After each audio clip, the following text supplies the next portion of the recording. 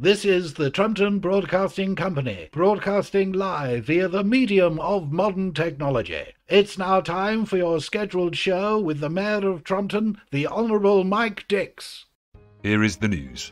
The House of Commons Privileges Committee have finished their report this week and they've concluded that Boris Johnson is a liar. They've also found out that the Pope is a Catholic and that bears defecate in heavily wooded areas. Speaking today about his resignation as the MP for Uxbridge ahead of being sacked for constantly lying, Johnson said today, I didn't resign, I've never been an MP. Wah. Meanwhile, non Dame Nadine Dorries hasn't yet resigned, despite saying that she had resigned on Friday. Dorries is currently doing her own research into why she didn't get a peerage from serial liar Johnson. Asked about this, Johnson said, I've never met this woman. In other news, well, there's a continuing bloody war in Ukraine. Refugees are drowning in the Mediterranean. There are endless stories of corruption in our government, and Donald Trump was arrested. But as far as the UK media is concerned, there is just Boris Johnson. Even Philip Schofield didn't get this many headlines. And finally, I'm depressed.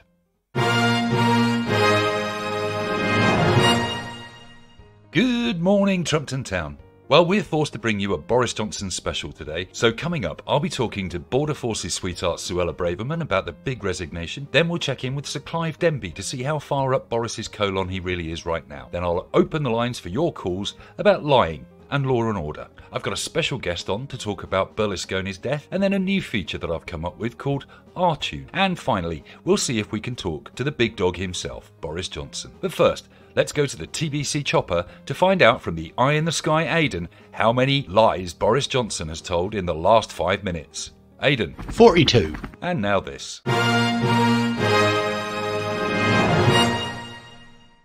Well, it's been an incredibly busy Boris week this week. I don't think there's been anything in the news that wasn't related to Boris Johnson.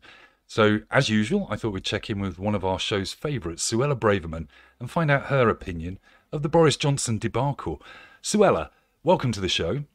Hello, Mike. So, Boris Johnson this week, he's been troublesome for the Tory party, but you've been quite quiet about him. Yeah, because I know when to keep quiet, Mike. Keep stum, don't say a word, and then make sure you get your cut when you come out. So, the rumours that you might be actually keeping quiet to take over as leader when Rishi Sunak is beaten up by Boris Johnson, are they true? Things happen. If there's a power vacuum, right, it's much better to be the James Dyson. Famous Brexiteer James Dyson now lives in Singapore, of course. So, if we're looking at the, the Boris lying debacle, I mean, do you agree Boris is a liar? I agree that maybe he may have said a few things in order to be able to get out of a situation. Who hasn't? Number of times I've been having tea with my auntie when major sort of, you know, problems have been going down on the high street. Do you actually have an auntie? No. And Boris Johnson then lied to Parliament. He lied to the public. He lied to the victims, really, I suppose, of COVID, the many people that lost loved ones during that time. He threw elaborate parties, it turns out, at 10 Downing Street and Chequers. Were you invited to any of the parties, Suella? I'm not going to tell you that, Mike. Do you know why? No, I don't. It's because I'm not a grass, Mike. Quite right too, Suella. I imagine it's it's well worth you keeping out of legal trouble in this case because you don't want to go down with Boris Johnson, do you? I don't want to go down with or on Boris. I'll tell you that for nothing. Suella, are you lawyering up in this situation? Do you feel that you might have to protect yourself? I don't need to lawyer up, Mike. I already have someone on a retainer, one of the finest minds in the world. He's a posh bloke called Tarquin. What is it about posh lawyers that, that you find most effective? Well, if you give posh people some money, they'll lie for you, but very effectively. Right? Honestly, speaking a posh voice, people will believe anything you say. I think that's probably a definition of the Tory party for the last 13 years. Well, it seems to have worked so far, Mike. Well, good luck at the next election, Suella, and I do hope that we're interviewing you soon as the new leader of the Tory party. I can't answer that question, Mike. You know why? Is it Tarquin telling you? It's because I'm not a grass, Mike. Thank you, Suella. And now this.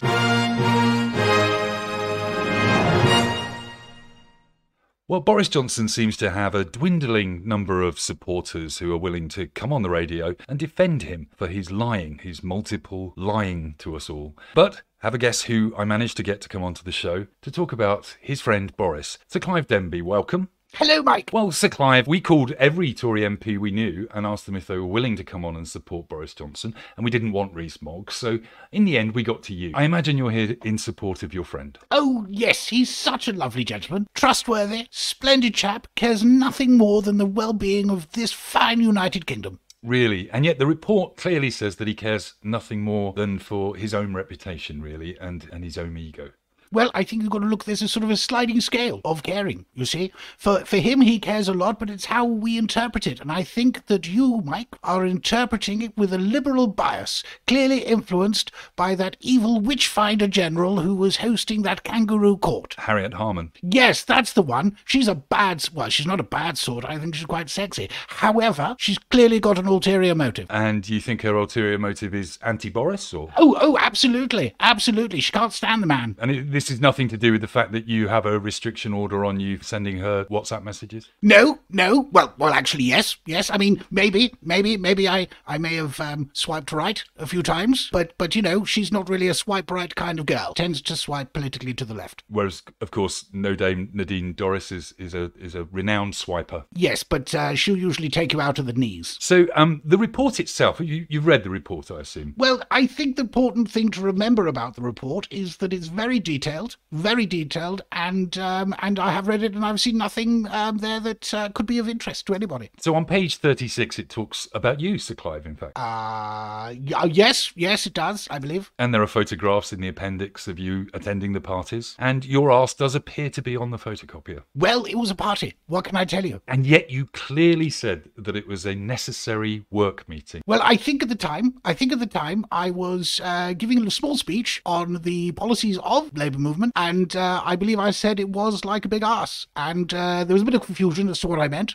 So that's why I did photocopy my bottom, just so that I could physically demonstrate to people what a bottom was. And yet, you only distributed those photocopies to the female interns. Well, they seem to be the ones who were confused. I mean, you know, most of my chaps went to Eton, so therefore they know what a good arse looks like. And of course, uh, two of those interns have now been put into the House of Lords because they disappeared into a room for a secret meeting with Boris at that party. Well, they were the ones who didn't mind the picture of the bottom. I can I can understand that completely, Sir Clive. So you've described this court as a kangaroo court, a witch hunt, a hatchet job, and gang warfare on the streets of Downing Street, I believe.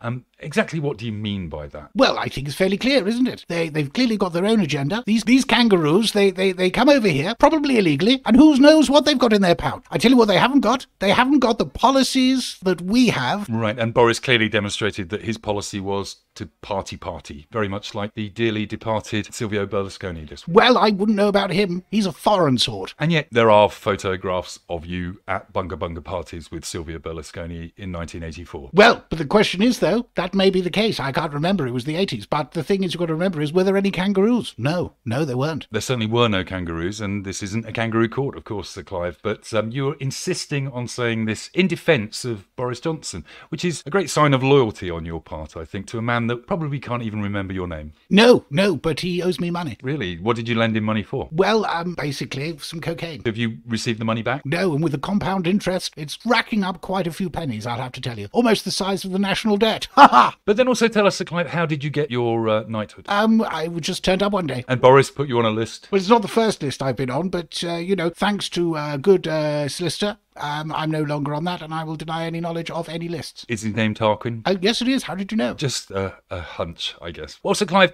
it's been lovely hearing you defend the indefensible, as usual. Um, we, we both agree, I'm sure, that Boris Johnson is a uh, habitual liar, um, but you kind of like him. No, I don't think he's a liar at all. I mean, last time I saw it, he looked into my eyes and said that I had a beauty of a unicorn, and I believed him. Well, that's lovely, I'm sure. But let's face it, Boris hasn't actually talked to you face to face for the last 10 years, has he? No. No. Well, thanks to Clive. We're now going to go to an advert break because my mortgage has just gone up by another 15% thanks to Rishi Sunak.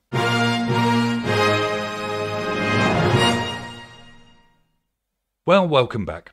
Now, I'm sure you can guess the subject of this week's phone in. It's lying. Not lying down, but just lying, being a habitual liar. Um, and I wondered uh, what your thoughts were on that. So let's talk to Patricia on line one. Patricia, what's your experience of lying? Hello, Mike. Mike, um, I don't think lying is a bad thing at all. I think it's a very useful tool, and if you do it correctly, it doesn't really hurt anybody. Well, that's quite an interesting approach, Patricia. Have you lied yourself? Oh, many times. For example, I've lied about the value of my house. Really, to the taxman? Yes, it paid dividends. Well, literally. What else have you lied about, Patricia? Is your name Patricia? No, my name isn't Patricia Highsmith. People always confuse me for the novelist Patricia Highsmith, but I quite like that because it makes me seem interesting when really I'm very dull. And what is your name? Gladys. Gladys Hyde Smith. No, just Gladys. Posh people and lie. Gladys, I think you open up a whole subject for us. Boris Johnson, famous liar. Jacob Rees-Mogg, famous liar. Richard Nixon, not particularly posh, but a famous liar. And you yourself now are admitting to being a habitual liar. Yes, yes, I am. In fact, when I met Richard Nixon and discussed this with him, he was in agreement with me. When did you meet? No, I didn't. You see, it was a lie. Ha ha ha! Have you met Boris Johnson? Yes, I have. When did you meet him? I didn't meet him either. Ha ha! You are a fool. I can see how this works, Patricia. Well, let's go to a regular caller to the show. Uh, on line two, it's Frank. Hello, Mike. Long time listener, first time caller. The thing is, Frank, that you've called in a number of times to this show. So, are you a liar? No, I don't believe I have, and I don't believe I do lie. In fact, I don't believe in lying at all. Life's too complicated to add in lies. I mean, I've lived a very varied and exciting life. I find myself telling people stories about my life, and people think, no, you're making that up, but it's all true. I mean, very often people do think that you're exaggerating stories, Frankie. You know, the time that you worked with Nicaraguan guerrilla fighters, the time that you helped JFK pull the bullet from his head in the back of the car. Those stories seem a little bit far fetched. Well, the thing is, I think there's nothing funnier than the truth. Do you know what I mean? People say, oh, you couldn't even have written that. And I think that's the very proof people need. You couldn't have written my life story, but I've lived it. Yes, yes, I did pull out the bullet. Yes, I was involved in Nicaraguan freedom fighters. I've also done many other things. I've swum the Amazon. That was quite a fun weekend. I've done all sorts of things. But, you know, I think if you just maintain the truth, then you've got a good chance of succeeding in life. And yet, most politicians um, would be regarded as liars. Boris Johnson became Prime Minister by lying his way to the top. You've never considered running as Prime Minister on an honest ticket, Frank? Well, I could do, I could do, but the problem is I'm not a corrupt bastard. Well, thank you, Frank. And now let's go to line three and talk to another regular for the show, Brian. Hi, Brian. Hello, Mike. Brian, have you ever lied? Yes, quite often, actually. What do you lie about, Brian? Well, all sorts of things, really. I mean, it usually is fine. I usually get away with it. Well, I didn't once because I had to impress a girl and it backfired horribly. Really, you were dating and you told her, what, that you were a little taller than you, you really are? Well, basically, I had to fake the moon landings. Well, thank you, Brian. And now this.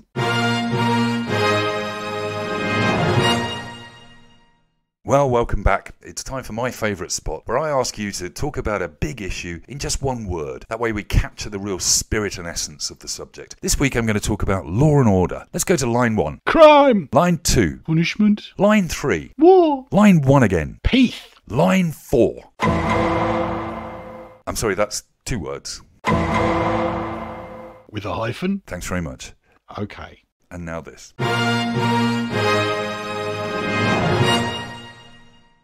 Well, I'm sure, like me, you're rather bored now of all the conversation about Boris Johnson, so I thought we'd take a bit of a diversion and interview a guest who's always fascinated me. And on the line, I've got Death. Hello, Death.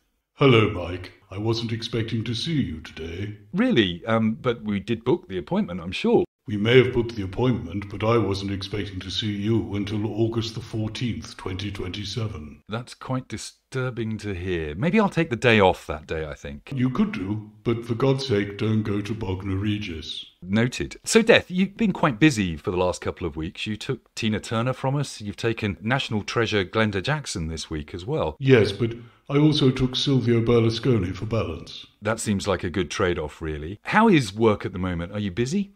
Very busy. I'm so busy I keep missing people. I keep trying to get Cliff Richard, but that little guy just moves too quickly. And so you're after Cliff Richard. Yes, there's a devil woman that wants to have a word with him. Is that causing problems for you administratively? You do not want to know about the admin problems I have. They are quite extensive. Luckily, I've come up with a plan. Really? And what is your plan? I'm opening a series of gyms. And what's the point of that? If everybody's healthier, then they will stop dying. And the name of these gyms? Keith, Any other things that you're trying to do? yes, I'm encouraging them to go to churches and stay away from Greggs. Is that because heaven is reasonably empty these days, but hell and purgatory are quite full? Hell, Purgatory, and Greggs. All far too busy. Greggs is the intermediate stage between earth and purgatory. Well, it's the gateway, put it that way. That's why I avoid Greggs, particularly the one in Bognor Regis. So I suppose we should talk about your future plans. Is there anybody that you're particularly keen to escort across the Oh, purgatory? there are many people that I am keen to visit. Although I would be indiscreet for me to be able to say who. But I think you've got a good idea. Boris, Trump, Martha Stewart. And would they all go to Greggs or purgatory? Oh, I believe there's another place for them. A special place in hell. A special place, yes. Well, Death, it's been really interesting talking to you, and I think we'll probably have you back on again. Oh, I'm always available. I'm always there. This is the problem with being Death. Not only am I omnipresent, I'm also omniscient, which means I know where I've been, where I'm going, and also whether they serve hummus on the menu. Thanks very much for joining us, Death. Um, uh, do you have a favourite tune we can play for you? Oh, I think Don't Fear the Reaper is always a good one, but I must go now, Mike. But don't worry, Mike. I'll be seeing you soon. Bye, Death. And now this.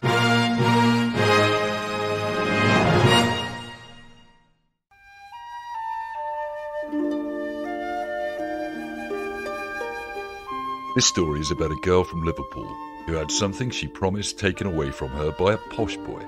Okay, so we'll change the names. Doris and Alexander. These are the names that I'll be using. This story ends in Westminster, but it starts in Liverpool and New York. Doris was born into poverty in Liverpool.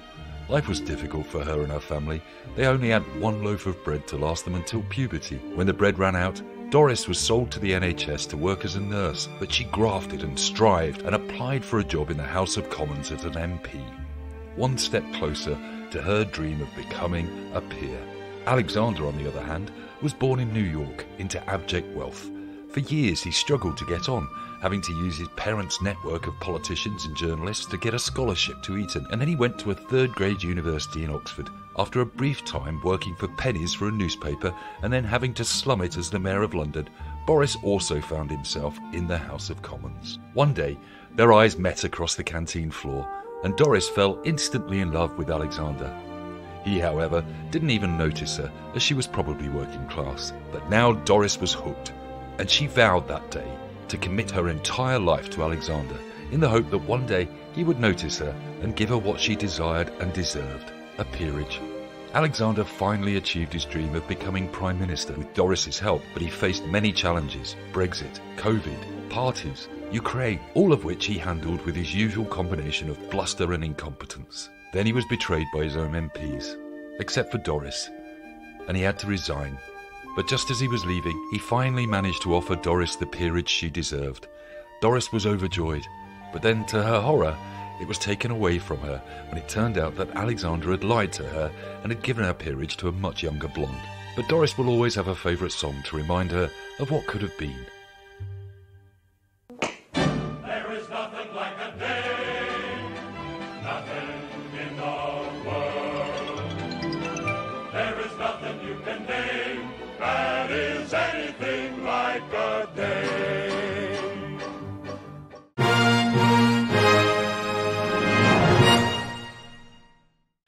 Well, despite my best efforts, this show has really been all about one person, and that's Boris DePiffle Johnson. So it's probably time that we got him on the show and get him to answer some of the things that have been raised with our guests and phone ins this week. Boris, welcome to Trumpton Broadcasting. Hello. So, Boris, um, you've been accused, in fact, you've been proven to be a complete and utter liar this week. No, I don't think I am. But there's a 49 page report with appendixes that proves that you're a proves that you're a liar. All completely fake. Nothing to do with me. I wasn't there. Suella came out in support of you on our show today. She said that you, well, I I suppose to be fair, I think she's probably wangling to become the next leader and she's keeping reasonably quiet. But she did say that she thought that you weren't a liar. No, she's wrong. Oh, so you are a liar. No, I'm not. Right. Do you know Suella Braverman? No, never met her. And yet you appointed her to be Home Secretary. No, I didn't. Right. Okay. So um, we also had uh, your good friend Sir Clive Denby on. I'm sure you've got many stories about Sir Clive. No, never met him. Okay, well, Sir Clive said that he was at a number of the parties, in fact, photocopying his bottom and passing it around to the interns that you've recently promoted to the House of Lords. Uh, Sir Clive said that you were a top fella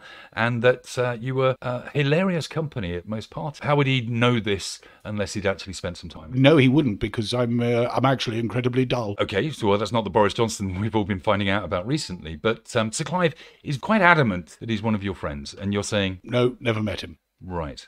So what do you think of Sir Clive Denby? I've never met him, so I don't have an opinion. Okay. So um, moving on, we had a phone in where people talked about lying. Many people felt that you were a habitual liar. Um, what do you think of the people of Trumpton? Oh, I don't have an opinion. Have you met the people of Trumpton? No, never. Patricia Highsmith told us that she was a very good friend of yours, friend of your family, in fact. Uh, no, no, never met her. Really? Um, well, she did say that she was lying about that. Well, in that case, I have met her. So you have met Patricia Hyde, No, I haven't. even though she says that she's lying about having met you. In that case, I have met her. Finally, um, we had a, a very special interview with Death today, and he's recently taken your good friend Silvio Berlusconi. I have no idea who you're talking about. Either case, I've never met Death, and also um, I've never met uh, Sylvia, whoever her name is. Silvio Berlusconi, famous for the bunga bunga parties that I believe you attended. No, I wasn't there. There are photos of you and Silvio Berlusconi with three dancing girls on a drum. No, that was just a usual Saturday night, but I wasn't there. Right, okay. But do you have anything to say about the dearly departed Silvio Berlusconi? Never met the lady. And Death, of course, came in and said that um, you were on a particular list of his, along with Cliff Richard. How do you feel about the fact that Death is currently stalking? Death stalks us all. There's no mistaking it. No getting away from it. In fact, I'm writing about it in my new Daily Mail column. You have a Daily Mail column, No, I don't. but you just said you did. Yeah, no, I don't. Okay, so can we read you in the Daily Mail tomorrow or not? Mm, yes. Okay, great. And uh, what have you written about? Nothing, because I don't have a column in the Daily Mail. Boris, um, you, you can't continue to lie and lie and lie. Sometime you're going to get found out. Everything I can fact check everything you've said today, and everything you've said is a lie. How does Carrie feel about this? Who? Well, on that bombshell, I think we'll have to end the show. It's been a pleasure to talk about Boris Johnson, although, if I'm honest with you, it's not a pleasure to talk about Boris Johnson. I'm glad to see the back of the scumbag. Um, I'm not sure that this will be the last we hear from him. I'm sure that his Daily Mail column will throw barbed weapons towards Rishi Sunak for the next 18 months while we desperately wait for the Labour Party to not put a foot wrong and let the Tories destroy themselves for the next decade or two. I hope you've enjoyed our take on this week's news, and don't have nightmares. Boris isn't coming to your house tonight. Death, I, I don't know what his agenda is.